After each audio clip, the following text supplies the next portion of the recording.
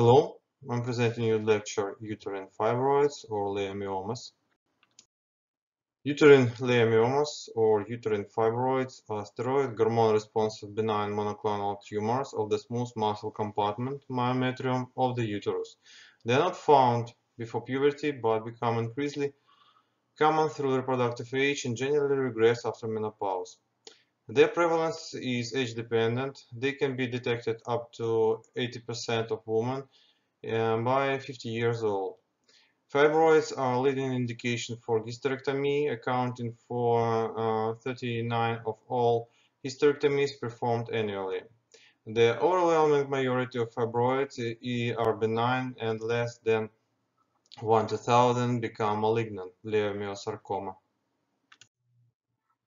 Etiology and pathogenesis, uh, the identity of the factors and molecular mechanisms involved in the cellular transformation of myometrial cells into leiomyoma remains unknown.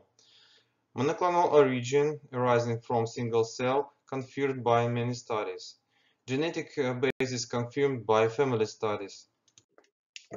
Global gene expressions, uh, profiling of uterine leiomyomas revealed that hundreds of genes were dysregulated, including those with functional roles in cell proliferation, differentiation, and extracellular matrix production. Cytogenic abnormalities in uterine leiomyomas. Karyotypic abnormalities occur in uh, 40 to 50% of uterine leiomyomas and tumors from the same uterus often show different chromosomal changes. Dysregulating in macroRNA in the uterine leiomyomas. Several microRNAs exhibit differential expression between normal myometrium and uterine leiomyoma tissue. Growth factors. Several growth factors um, appear to play a role in uterine leiomyoma cell proliferation and tumor growth. Major growth factors overexpressed in uterine leiomyomas including tumor growth factors, epidermal growth factor, platelet-derived growth factor, vascular endothelial growth factor, and uh, insulin-like growth factor. Estrogen and progesterone appear to be promoters of fibroid growth acting in concert. Increased level of estrogen and progesterone result in, in an increased mitotic rate that may contribute to myoma formation by increasing the likelihood of somatic mutation. Inherent abnormality in myometrium of individuals who develop fibroids based on the finding of significantly, significantly increased levels of estrogen receptors uh, in myometrium of the fibroids. About the role of estrogen in development of fibroids. Estrogen, although not proved for causing uh, myoma, is definitely implicated in its growth. Uncommon before puberty and regress after menopause.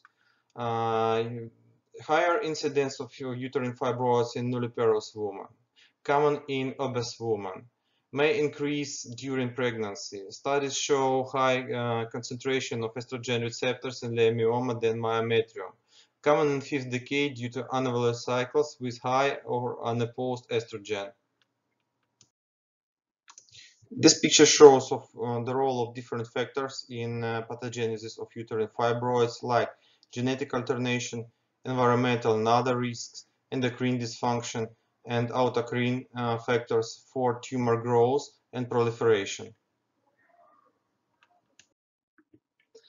What are the, what are the epidemiological risk factors? Uh, factors that increase risk is the age about uh, 40 to 55 years old, nulliparous or low parity, black woman, family history, obesity, early menarche, diabetes, hypertension, factors that decrease risk, higher parity, exercise, intake of green vegetables, progesterone-only contraceptives, and uh, cigarette smoking.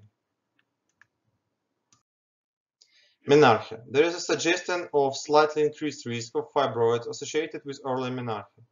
The early onset of menstrual cycles may increase the number of cell divisions that the, the myometrium undergoes during reproductive years, resulting in an increased chance of mutation in genes controlling myometrial proliferation. Parity. Several studies have shown an inverse relationship between parity and the risk of fibroids. A relative risk of fibroids among parous women is about uh, 0.5 compared with nullipara and progressive decline in risk relative to the number of the births have been reported. Age. An increase with age in, in prevalence of uh, uterine fibroids during the reproductive years has been demonstrated in several epidemiological studies. Menopause. A reduced risk of fibroids requiring surgery in postmenopausal patients could be due to tumor shrinkage in the absence of hormonal stimulus following the menopause. Obesity. Several studies have found an association between obesity and increased risk uh, uh, of incidence uterine leiomyomas. In a prospective study from Great Britain, the risk of fibroids increased approximately 21% for each 10 kilograms increase in body weight. Similar results were obtained when the body mass index was analyzed rather than weight. In a case control study, a 6% increase in risk was, was observed for each unit increase in body mass index.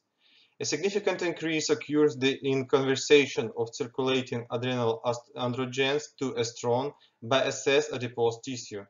The hepatic production of sex hormone binding globulin is decreased, resulting in more unbound physiologically active estrogen. The potential role of diet in genesis of fibroids has received little attention in literature. In a case control study, a moderate association was found between the risk of uterine myomas and uh, consumption of beef, other red meat and ham, whereas a high intake of green vegetables seems to have a protective effect. Exercise. The possibility of relationship between uh, exercise and the occurrence of fibroids has been addressed by comparing prevalences among a large group of former college athletes and non-athletes. Former non-athletes were found to be 1.4 times more likely than former athletes to develop benign uterine tumors. Racial differences. There has been a general acceptance in literature that uterine fibroids are more prevalent in black women than in white women. For instance, in one study, 73% of black women and uh, 80, 48% of uh, white woman had uterine fibroids by ultrasound examination. Oral contraceptives. Report and literature present inconsistencies with regard to the effect of oral contraceptives used upon the growth of uterine fibroids. An early report suggested that oral contraceptives may play a role in development of growth of uterine leiomyoma.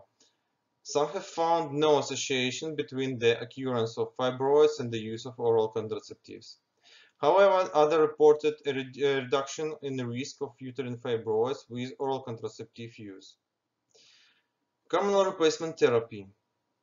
Fibroids are expected to shrink after menopause, but hormonal replacement therapy may prevent this shrinkage and may even stimulate growth. Xenoestrogens, a diverse group of uh, exogenous compounds, xenoestrogens, processes in the potential to disrupt normal estrogenic function as a result of either estrogenic agonist or uh, antagonist effects. Tamoxifen. Tamoxifen is a partial estrogen agonist that bind, uh, binds to estrogen receptors to receive to, in receptive cells thereby antagonizing the effects of estrogen by competitively binding to target uh, organ receptors. Because tamoxifen is effective uh, adjuvant therapy for uh, estrogen receptor positive breast cancer, it might be expected to induce uh, regression of estrogen responsive uterine fibroids. Indeed, there is an in vitro studies indicating that tamoxifen doesn't inhibit estrogen-stimulated growth of uterine leiomyoma cell lines. However, several clinical studies have now reported the growth or enlargement of uterine fibroids in breast cancer patients undergoing tamoxifen therapy. In some cases, the expansion of tumor volume has been sufficiently great to require hysterectomy. Types of uterine fibroids. They are more common in uterine corpus, less in cervix. All fibroids are interstitial to begin with uh, and then enlarge. It may remain uh, intramural, become subserosal or submucosal. Subserosal may be pedunculated and occasionally parasitic, receiving blood from other organs, usually omentum. Submucous fibroids may become pedunculated and present in vagina through the cervix as the fibroid polyps. Large submucous fibroids may pull down the cervix, resulting in chronic inversion. Fibroids can be single or multiple. They can vary in size, location, and perfusion. Fibroids can be classified based on their location, subserosal, projecting outside of the uterus, intramural within the myometrium, and the submucosal, projecting into the cavity of uterus. This classification system has been devised and advocated by FIGO. Uh, type 0 is pedunculated intracavitary uterine fibroids. Type 1, it's uh, submucosal uterine fibroids with less than 50% comp components intramural. Uh, type 2 of sub, uh, submucous uterine fibroids when the intramural component is over the 50%. Uh, type 3 when the endomet when the uterine fibroids contacts endometrium but it's 100% intramural. Uh, type 4, it's intramural uterine fibroids. Type 5, subserosal uterine fibroids with, uh, the intramural component over um, than 50%. Uh, subserosal uh, uterine fibroids type 6 when the uh, intramural component is less than 50%. Type 7, it's subserosal pedunculated uterine fibroids and type 8 when uh, uh, it's all other uterine fibroids, for example, cervical, parasitic, and others. Uncommon sites are the ligaments of the uterus. Those fibroids are difficult to manage surgically as they are often near other structures such as the ureters, vessels, and nerves. Cervical fibroids, these fibroids forms in cervix and they can be classified by size Small, it's uh, from 1 to 5 centimeters. Medium, it's from 5 centimeters to 10 centimeters. And large, over the 10 centimeters. Gross appearance of uterine fibroids, they are multiple, discrete, spherical, uh, pinkish white, firm encapsulated masses protruding from surrounding myometrium. Pseudocapsule is made up of compressed myometrium, uh, giving it a distinct outline. During microscopy, you can see non-striated muscle fibers are arranged in interlaced uh, bundles of varying size arranged in a whorl pattern. Varying amount uh, of connective tissue is intermixed with the smooth uh, muscle fibers. Fibroid pathology variants uh, you can see some secondary changes in uterine fibroids, for example, intravenous leiomyomatosis is a rare tumor characterized by intramural growth of benign smooth muscle into the venous or lymphatic vessels outside uh, of the limits of uterine fibroid. Another pathological variant of uh, uterine caused by secondary changes is disseminated peritoneal leiomyomatosis. It's a rare condition which is characterized by nodules of small lumps uh, or small muscle cells located in the peritoneum lining of the abdominal wall and abdominal organs. Another uh, pathological variant is of secondary changes in uterine fibroids is hyaline degeneration. The most common type of degeneration is focal or generalized hyalinization. Hyalinization occurs in more than 60% of leiomyomas and is usually extensive. At the microscopic level, hyalinization begins in stromal component that separate the smooth muscle and then progress to extensive replacement of the smooth muscle cells. Expanded cells, uh, septa have lost their fibrillary structure, assuming a uniform, pale eosinophilic, ground glass appearance. These changes may be localized or it may affect uh, extensive areas of the tumor, occasionally even the whole of it. Another case of secondary changes in uterine fibroids is red degeneration. Red degeneration is commonly seen in women with big fibroids of size more than 5 centimeters and usually occurs in late second or early third trimester of the pregnancy. Fibroid tissue outgrowing its blood supply, causing ischemia and hemorrhagic necrosis, giving the degenerative fibroid its typical red color. Another pathological variant of uterine fibroids is secondary changes cause edema. Edema is not necessarily uh, secondary to degeneration. Fluid, fluid accumulates uh, for multiple reasons, and uh, edema is the common histopathological finding observed in, in uh, about 50% of leiomyomas. At the microscope, uh, fluid is seen in the stroma of the uh, leiomyoma, often is uh, in association with collagen. Calcification is the secondary changing, changes in uterine fibroids. It occurs in hyalinized tissue in about 4% of leiomyomas. The calcification is usually dense and amorphous. This pattern of calcification at plain uh, radiography almost exclusively indicates the diagnosis of leiomyoma. A rarely observed pattern is ring-like calcification at the margins of leiomyoma. Uh, this type of calcification appears to represent thrombosed veins from past red degeneration. Lipoleiomyoma is a specific type of leiomyoma that contains a substantial uh, amount of fat. The reported prevalence of lipoleiomyoma is about 0.8%. Uh, At microscopy, Circumscribed areas of adipocytes are seen with, uh, within the leiomyoma. Angioleiomyoma and lipoma are related lesions uh, and more characterized according to their macroscopic components.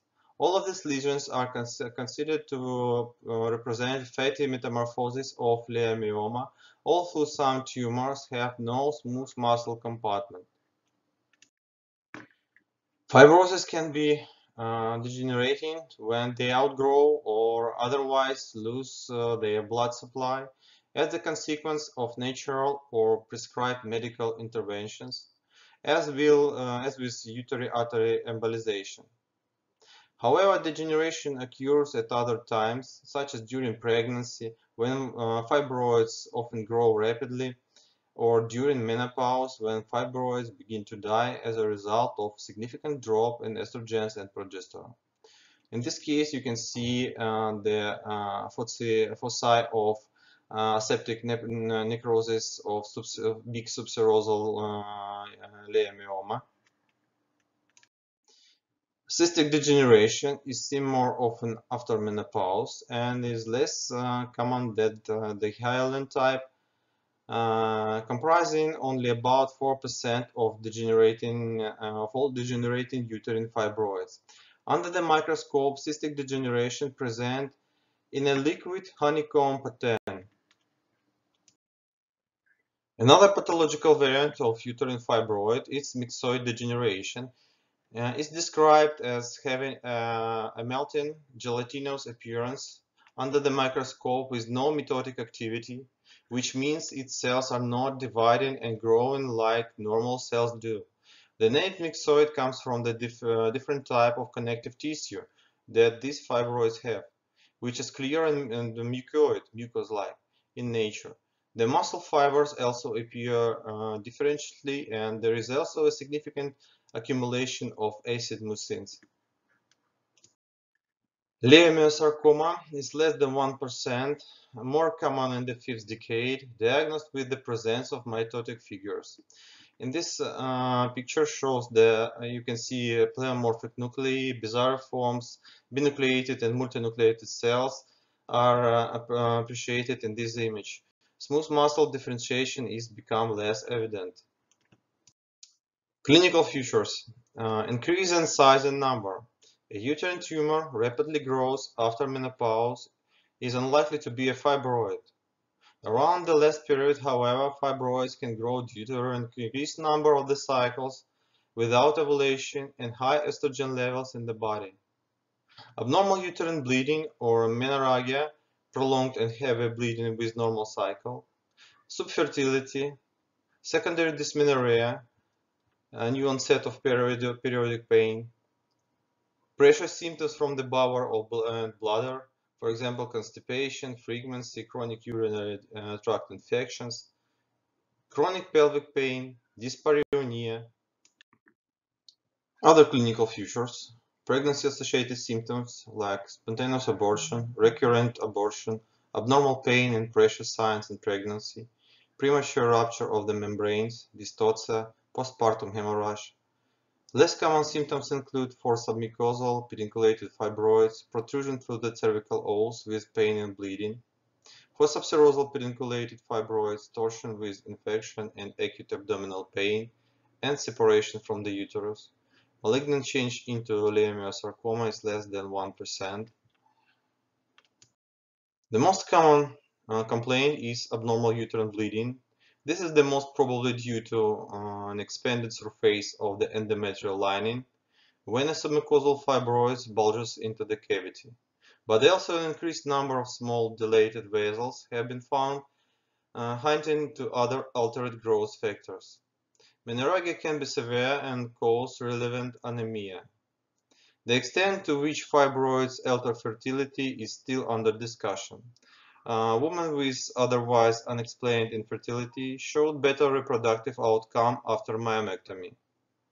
Most likely, submucosal fibroids bulging into the cavity can alter blood circulation in, uh, in the stretched endometrium above and uh, distort the uterine cavity or block the fallopian tubes if located near the inner uh, orifice or interfere with the sperm uh, transportation. Large fibroids can interfere with the ovum pickup mechanisms. Effects of the fibroids on pregnancy. Uh, during pregnancy, it can cause abortion, pressure symptoms, malpresentation, uh, retrodisplacement of the uterus. In labor, uh, it's preterm labor, uterine inertia, postpartum hemorrhage, dystocia, manual removal of placenta.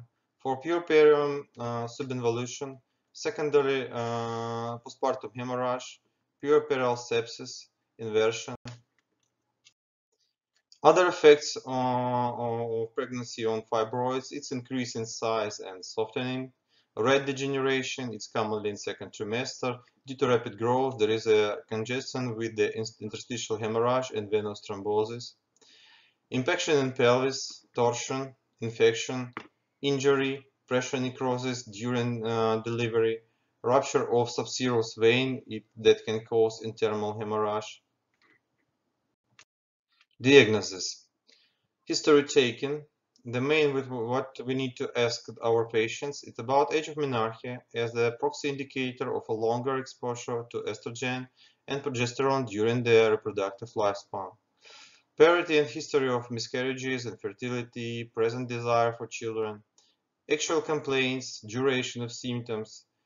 Specifically ask about bleeding pattern, pain, dysmenorrhea and pressure signs, history of previous symptoms that might be associated with fibroids, history of sexually transmitted infections, previous abdominal and vaginal operations, last two menstrual peri periods with duration and irregularity, previous or actual use of contraceptives and types of contraceptives, weight and height and nicotine and alcohol intake. The next in investigations is abdominal palpation. If the patient had uh, uh, peritoneal signs and might not have a normal fibroid, but either something else or a fibroid with torsion or infection and infection can be found.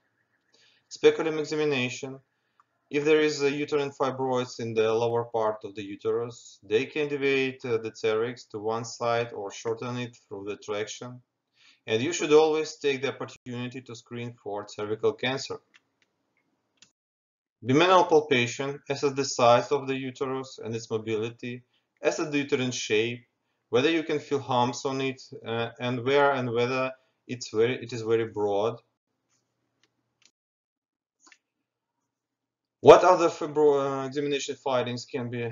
Uh, this is in general examination, anemia due to prolonged heavy bleeding, if due to abdominal palpation if uh, the uterine fibroids more than uh, 12 week size, uh, nodular arising from pelvis, lower limit can be reached, relatively well defined, mobile from side to side, non-tender, dual and percussion, no free fluid in abdomen. Per speculum, cervix can be uh, pulled higher up. Per vaginam examination, uterus enlarged, nodular. Different diagnosis from ovarian tumor. Uterus is uh, not separately felt. transmitted movement present, notch not felt. Perirectum examination may help in some difficult cases. Ultrasound always start with the vaginal probe to better assess the cervical area, than the endometrium, and if possible the adnexa uh, to diagnose fibroids. Uterine fibroids have a clear border to adjustment myometrium as the latter uh, surrounds them like a capsule. They are mostly darker than the myometrium. Submucosal fibroids are better diagnosed with vaginal probe. MRI. Why ultrasound may be the most common technique? Magnetic resonance imaging is the most powerful diagnostic tool used for imaging purposes. In the case of fibroids, MRI can uh, distinguish leiomyomas from other intramural lesions. Mag magnetic resonance imaging is most accurate imaging modality for the diagnosis of fibroids. It can precise fibroids mapping and characterization possible. It can uh, you can use it to differential diagnosis from adenomyosis, differential diagnosis from adnexal pathology. It can detect small uterine fibroids less than 1 centimeters. Hysterosalpingography can be done uh, for infertility evaluation. Coincidental finding of filling defects may be seen, like on this picture you can see filling defect. Direct visualization. These techniques are most, more invasive and expensive than an ultrasound or magnetic resonance imaging.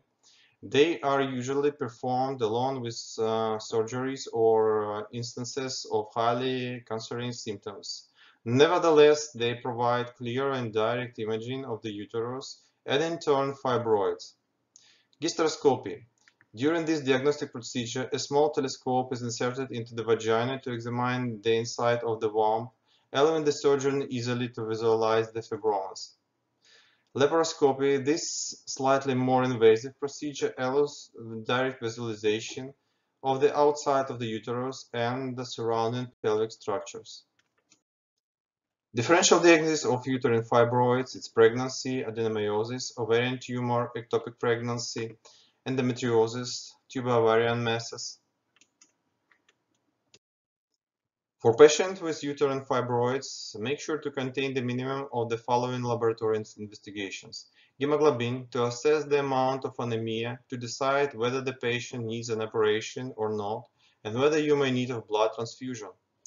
Erythrocyte sedimentation rate or white blood cells count to know if there is uh, uh, pre-existing infection. Big fibroids can be necrotic without symptoms, which will raise the uh, erythrocyte sedimentation rate and maybe even the white blood cells count. Blood grouping and cross-matching for operation or to correct anemia prior to operation. Urinalysis to detect urinary tract infection as a source of postoperative infection prior to operation. Treatment options. Expected management uh, is acceptable in those who are asymptomatic. Consider annual follow-up to monitor size and growth. Indication.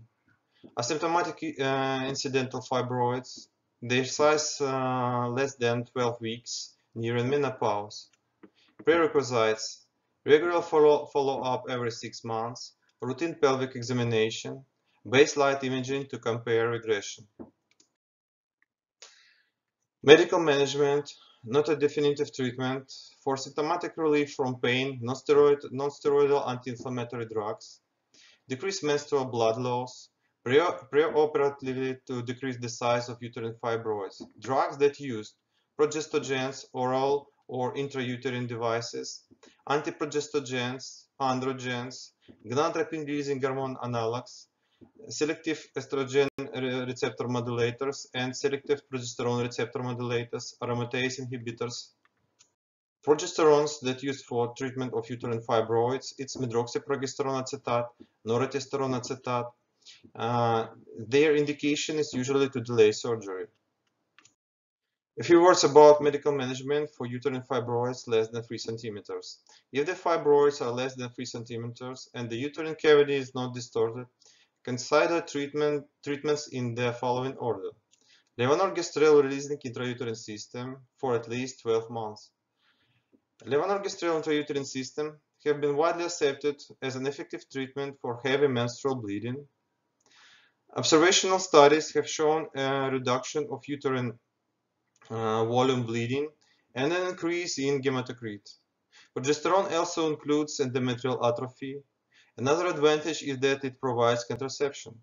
A randomized control trial showed uh, that the levonorgestrel intrauterine system was more effective than uh, combined oral contraceptive pills in reducing menstrual loss and improving hemoglobin levels.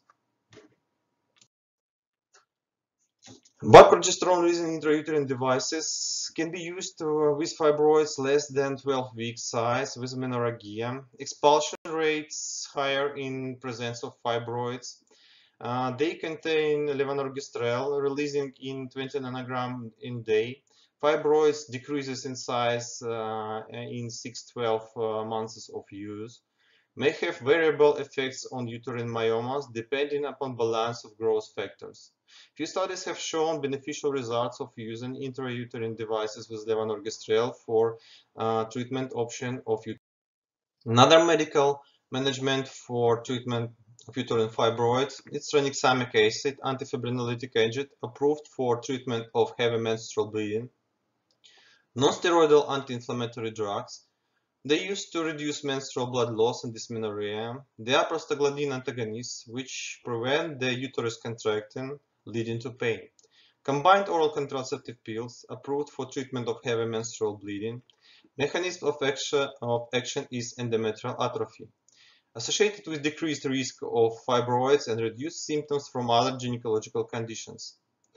Nortestosterone, it's long-acting acting progesterone, only injectables. This form of treatment is thought by uh, to induce endometrial atrophy, thus deciding it from uh, for the treatment of heavy menstrual bleeding. Mifepristone is antiprogesterone that can be used for treatment of uterine fibroids. It gives uh, using uh, of uh, mifepristone gives promising result in decreasing of uterine uh, myomas volume by 26 to 74 percent. No effects on bone density. Endometrial hyperplasia may be limits uh, may be limited for long-term use if fibroids are 3 centimeters or more in diameter and the woman has heavy menstrual bleeding or medical treatment is required preoperatively to reduce size and vascularity of the fibroids, consider the following. Gonadotropin-releasing hormone agonists uh, with add-back hormonal replacement therapy, limit use to 6 months. Hormonal, uh, gonadotropin-releasing uh, hormone agonists reduce hormonal stimulation of fibroids it can reduce fibroids to approximately 25 to 50% of their size within 3 months, but the fibroids can return to their former size within 3-6 months of stopping treatment. Gonadotropin-releasing hormone agonists also cause amenorrhea, menopausal symptoms, and bone loss. Uh, some recommendations uh, says that gonadotropin-releasing hormone agonists can be used preoperatively for three to four months prior to hysterectomy or myomectomy when the uh, fibroids uh, are causing an enlarged uh, or distorted uterus. Gonadotropin-releasing hormone agonists are licensed for reduction of uterine fibroids in women with heavy menstrual bleeding up to six months. Side effects of gonadotropin-releasing hormone agonists can be minimized by giving add-back hormonal replacement therapy with low dose of estrogen progesterone such as tibolone. So, gonadotropin-releasing hormone agonists like triptorelin, leuprolide, goserelin can be used intramuscularly once in months, up to three months. Uh, some advantages, as we say, that they decrease in size of uterine fibroids, decreases in bleeding that can increase hemoglobin levels, uh, decreases blood loss during surgery, helps to convert hysterectomy into myomectomy, helps to convert abdominal hysterectomy into, into the vaginal hysterectomy. Disadvantages of gonadotropin-releasing hormone uh, analogs. Uh, it's high cost, hypoestrogenic side effects caused by medical menopause, effects is reversible, Rarely, uh, it can gives uh, more bleeding due to de degeneration of uterine fibroids, occasionally difficulty in uh, enucleating during myomectomy. Uh, another type of drugs is gonadotropin-releasing hormone antagonists, like cetrorelix. It can be used uh, in 60 milligrams intramuscular repeated after three, uh, six, four months if necessary. Initial flare-up does not occur. Selective estrogen receptor modulator, for example raloxifene, can be used in uh, dosage of uh, 60 milligrams in day. It's tried for uh, 6 to 12 months. Higher doses uh, required for effective decrease in, in size of uterine fibroids, and it's better if combined with gonadotropin-releasing hormone analogs. Selective progesterone receptor modulator asoprisnil is used in, in dosage from 5 to 25 milligrams a day. Uh, mechanism of inhibitory action is not uh, yet known. Possible risk of endometrial hyperplasia is not studied. Aromatase inhibitors directly inhibit uh, estrogen synthesis and rapidly produce hypoestrogenic state. Fadrozole, letrozole is tried in a couple of studies. 71% uh, reduction occurred in 8 weeks. It appears to be promising therapy for uterine fibroids. This picture shows the application points for aromatase inhibitors and selective progesterone receptor modulators on the uh, uterine fibroids uh, growth. There are some new modalities of treatment for uterine fibroids. It's laparoscopic myolysis, uterine artery embolization, uh, mag magnetic resonance guided focused ultrasound ablation, laparoscopic myolysis by neodymium doped yttrium aluminium garnet laser or long bipolar needle. Ele electrode uh, blood supply of myoma is coagulated during laparoscopy. Results in atrophy of uh, uterine fibroids, applicable if myoma is about from uh, 3 to 10 centimeter size and less than 4 in number. Interventional radiology, uterine artery embolization. Uterine artery embolization can be offered as a treatment for symptomatic large, uh, bigger than 3 centimeters or multiple fibroids. Uterine artery embolization is not recommended treatment option for a degenerating fibroid. This procedure is performed by interventional radiologist under local anesthetic. This involves the occlusion of the uh, uterine arteries uh, with uh, tiny macroembolic particles, which causes the fibroid to shrink. The resulting ischemia is not permanent. Recommendations has reviewed the evidence and found that it's associated with a reduction of fibroids volume of uh, 40 to 70 percent. However, the reinterventional rate at two years is about uh, 14 percent. Improvement in symptoms were reported between 62 to 95 of women. Uterine artery embolization is associated with the 3% uh, rate of major complications, which include septicemia and hysterectomy. High vascularity and solitary fibroids are associated with a greater chance of long-term success. Pregnancy, active infection, desire for fertility, and suspicion of malignancy are absolute contraindications. Risk of ovarian failure must be cancelled. Uh, Post-embolization syndrome, fever, vomiting, pain can occur. Magnetic resonance guided focused ultrasound uh, MRI guidance is used to direct ultrasound to tissues to elicit coagulative necrosis via thermal ablation. Surgical management.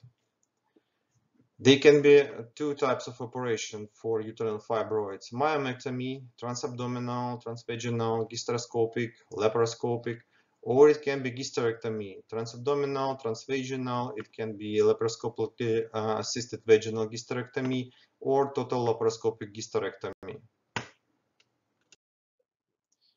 Surgery is indicated if medical therapies are unsuitable or have failed. The type of surgery depends on the site and size of the fibroids. Another type of operation is endometrial ablation. This procedure involves the destruction of the endometrial lining for the relief of heavy menstrual bleeding. Fibroids with a diameter less than 3 cm are not contraindication.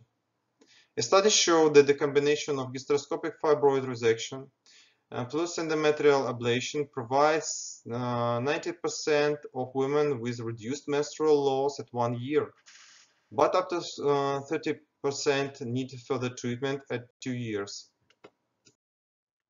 Surgical management. Myomectomy is preferred in uh, cases of infertility, recurrent pregnancy loss when no other cause can be found for it, for young patients, for patients who wish to preserve their uterus.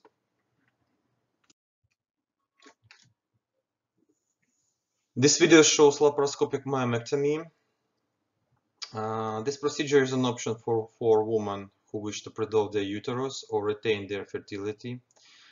Uh, it can be performed by the laparoscopic route or by open surgery for intramural and subserosal fibroids. Myomectomy reduces the need of the further treatment as compared with the uterine artery embolization. You can see uh, the surgeon make the incision on the uterine wall, then uh, removing of the uh, uterine fibroids. So uh, laparoscopic myomectomy uh, includes in three phases its excision of myoma, uh, repair of endometrium by uh, of myometrium by suturing the uterine wall, and extraction of the uh, myoma. This uh, treatment uh, option, laparoscopic myomectomy, is suitable for subserous and intramural fibroids up to, 17, uh, up to 10 centimeters in size. Now the surgeon makes suturing of the uterine wall in place of localization uh, of uterine fibroid.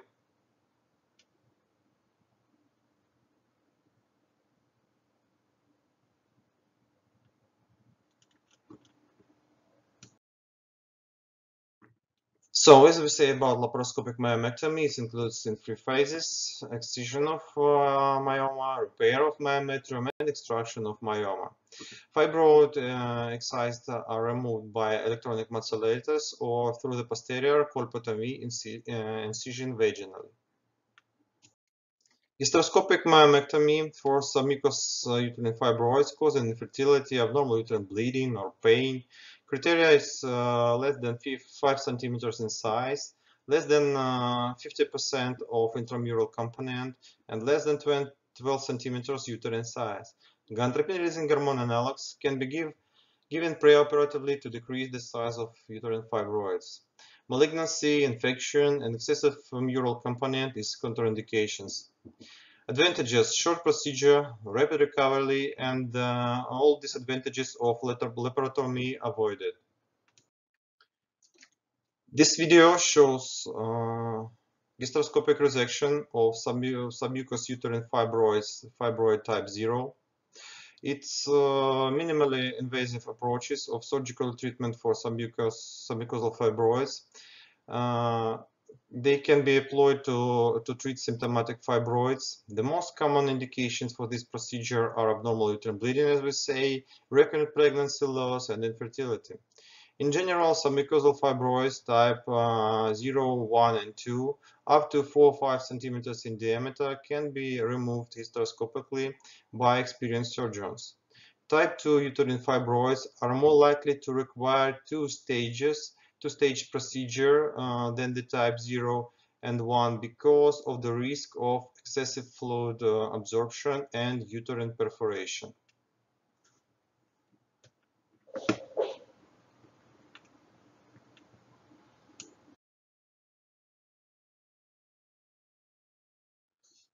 Again about myomectomy, uterine reconstruction is important.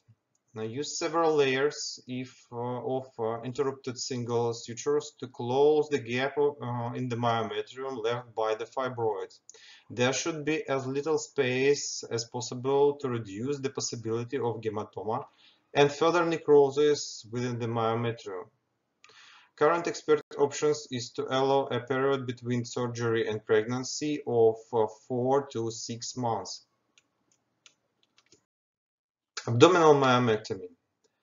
Uh, when other factors for infertility should be ruled out, uh, consent for hysterectomy, blood matched and handy, pap smear and endometrial sampling to rule out malignancy, medical or mechanical means to control blood loss, it's uh, Bonney's myomectomy clamp, uh, rubber tourniquet, manual like finger compression uh, pressure at isthmic region, using of vasopressin diluted in um, sal uh, saline infiltrated uh, before putting the incision.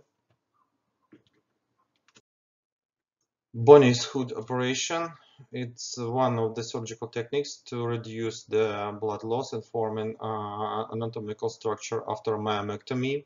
It's used for large posterior fundal fibroids by transversion of the fundal uh, incision uh, made posterior. After uh, enucleating uterine wall is sutured uh, fundus as the hood. Vaginal myomectomy is used for submucous, pedunculated or small accessible cervical fibroids are removed vaginally. Ligation of pedicle is accessible. Twisting of the fibroids if pedicle is not accessible and case of small and medium-sized fibroids. To gain access to pedicle or uh, of higher and um, big fibroid, incision on cervix can be made. Factors favoring vaginal hysterectomy, uterus less than 16 weeks, preferably less than 14 weeks, no associated pathology like endometriosis, pelvic inflammatory diseases, adhesions, uterus mobile and adequate lateral space in pelvis, experienced vaginal surgeon. Hysterectomy, this is the definitive treatment for women who have completed their families and in, in whom uh, other therapeutic modalities have failed. This procedure can be performed by abdominal, laparoscopic or vaginal route. And as we say, it's a definitive treatment for uterine fibroids. Thank you for your attention.